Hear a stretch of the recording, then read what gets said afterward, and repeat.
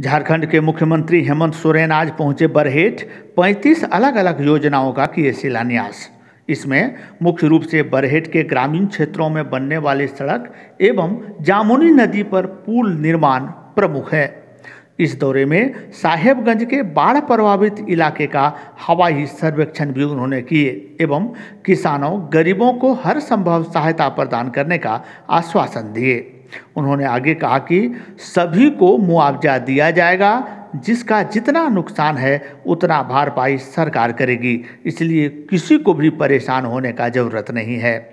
उनका स्वागत करने के लिए मंत्री आलमगीर आलम, विजय हांसदा आदि उपस्थित रहे।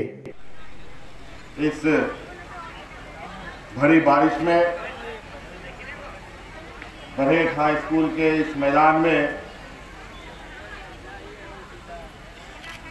सरकार के विभिन्न योजनाओं का शिलान्यास उद्घाटन परिसंपत्ति वितरण कार्यक्रम में हमारे साथ उपस्थित